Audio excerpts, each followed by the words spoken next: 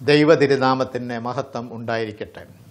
കർത്താവിൽ പ്രിയ വിശ്വാസികളെ രണ്ടായിരത്തി ഇരുപത് ഓഗസ്റ്റ് ഇരുപതാം തീയതി പത്തര മണിക്ക് പുത്തൻകുരിശ് പാത്രക്ക സെന്ററിൽ വെച്ച് കൂടിയ പരിശുദ്ധ എപ്പിസ്കോപ്പൽ സുനോദോസിന്റെ തീരുമാനങ്ങൾ നിങ്ങളെ ഏവരെയും അറിയിക്കുന്നതിന് വളരെ സന്തോഷമുണ്ട്.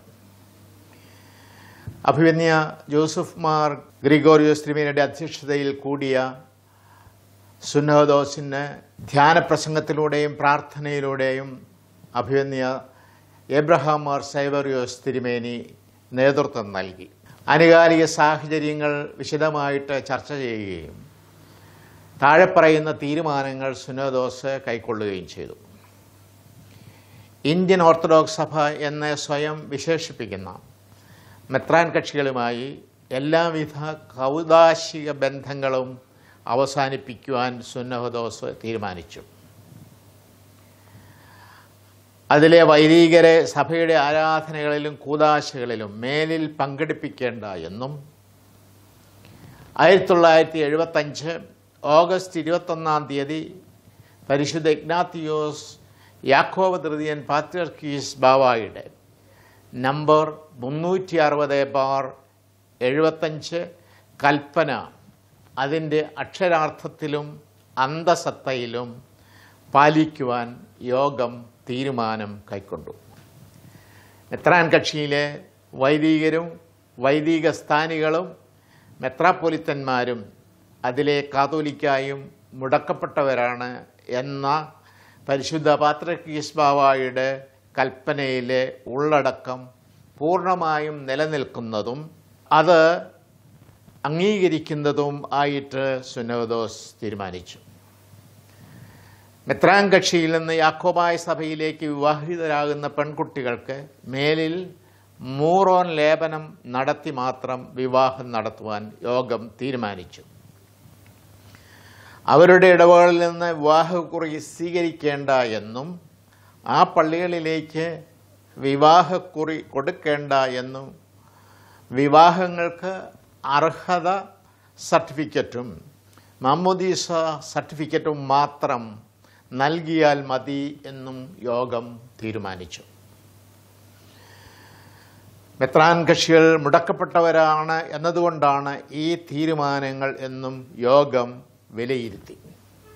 എന്നാൽ ഇടവക പള്ളികളിലെ വികാരിമാർ ഇക്കാര്യത്തിൽ വളരെ വിവേകപൂർണമായിട്ടുള്ള നിലപാടുകൾ എടുക്കണമെന്നും ഇക്കാര്യത്തിൽ എന്തെങ്കിലും അവ്യക്തത ഉണ്ടെങ്കിൽ അതാത് ഭദ്രാസന മെത്രാപ്പൊലിത്തന്മാരുമായിട്ട് ബന്ധപ്പെട്ട് സഭയിലെ വിശ്വാസികൾക്കും അതുപോലെ ഓർത്തഡോക്സ് വിഭാഗത്തിലെ നല്ലവരായ ജനങ്ങൾക്കും ഒരു ബുദ്ധിമുട്ടുണ്ടാക്കാതെ കാര്യങ്ങൾ ചെയ്യുന്നതിനും സാധിക്കണം. ഇക്കാര്യം വൈദികർ പ്രത്യേകം ശ്രദ്ധിക്കണം എന്ന് യോഗം വിലയിരുത്തി.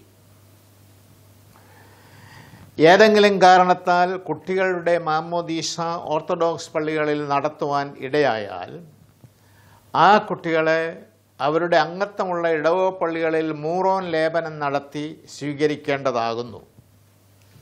എല്ലാ കാര്യങ്ങളും വിശദമാക്കിക്കൊണ്ടുള്ള അറിയിപ്പ് പള്ളികൾക്ക് നൽകുവാനും യോഗം തീരുമാനിച്ചിട്ടുണ്ട്.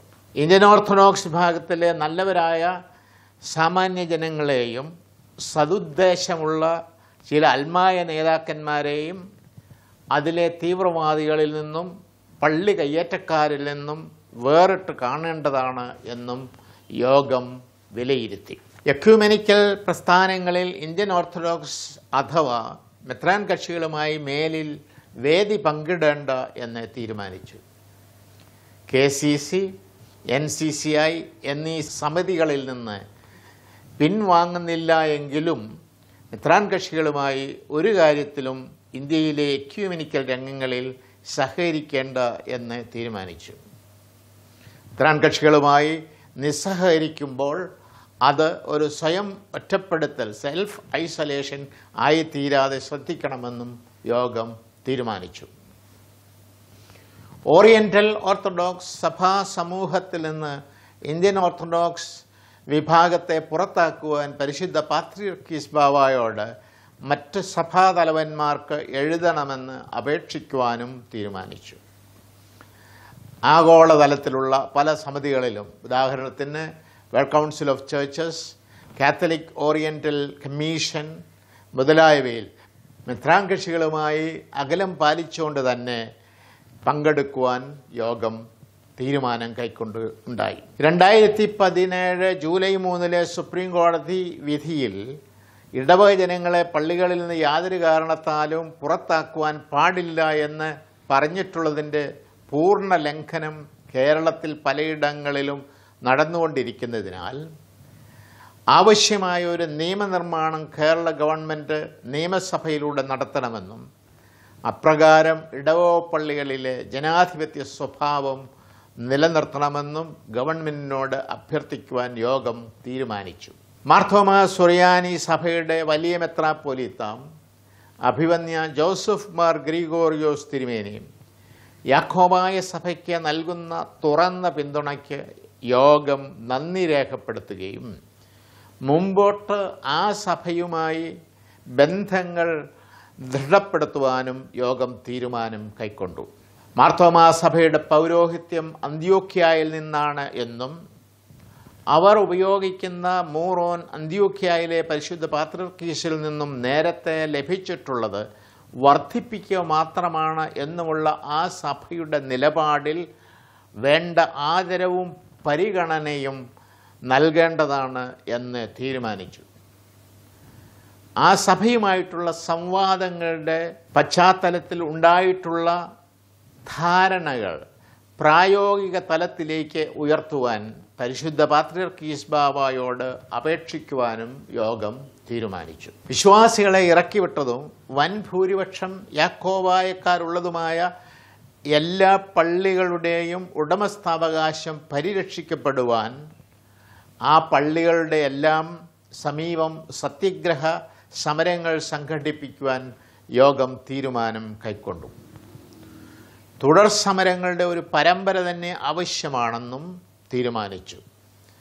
നഷ്ടപ്പെട്ട പള്ളികൾക്ക് പകരം സംവിധാനങ്ങൾ ഉണ്ടായിരിക്കുമ്പോൾ തന്നെയും ഇടവ പള്ളികളുടെ ഉടമസ്ഥാവകാശം നിലനിർത്തപ്പെടുവാൻ തക്കവണ്ണം മെത്രാൻ കക്ഷി വൈദികരും അല്പമാത്രമായ അവരുടെ ജനങ്ങളുമായി ആ പള്ളികളിൽ കൃത്യമായ അകലം പാലിച്ചുകൊണ്ട് പള്ളികൾ വീണ്ടെടുക്കുവാൻ വിശ്വാസികൾക്കുള്ള അവകാശത്തെ യോഗം അംഗീകരിച്ചു. അതിനുവേണ്ട പ്രായോഗിക നിർദ്ദേശങ്ങൾ സമയാസമയങ്ങളിൽ ജനങ്ങൾക്ക് നൽകുവാനും യോഗം തീരുമാനം കൈക്കൊണ്ടു. വിശ്വാസികൾ കാലക്രമത്തിൽ ഇന്ത്യൻ ഓർത്തഡോക്സുകാരാകുന്ന സാധ്യത പൂർണമായും ഇല്ലാതാക്കണമെന്നും യോഗം തീരുമാനം കൈക്കൊണ്ടു.